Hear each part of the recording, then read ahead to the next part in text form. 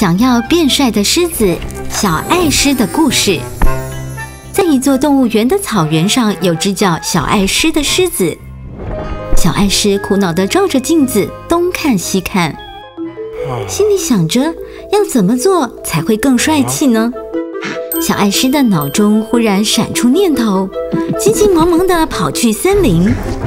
小爱狮在森林找到了几个种子，那就是摩洛哥坚果油、白芒花籽油、山茶籽油、洛梨油、澳洲坚果油、荷荷巴油。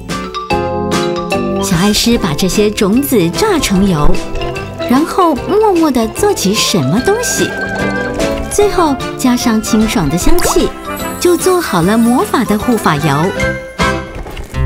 洗澡后，从头顶擦上护发油，把头发吹得很美丽。小爱狮的毛发变得舒爽又柔软，头发变得光滑，香气也不错。小爱狮变得更加帅气了。之后，小爱狮成为了动物园的时髦公子。六种种子油使头发发光，爱多美护发油。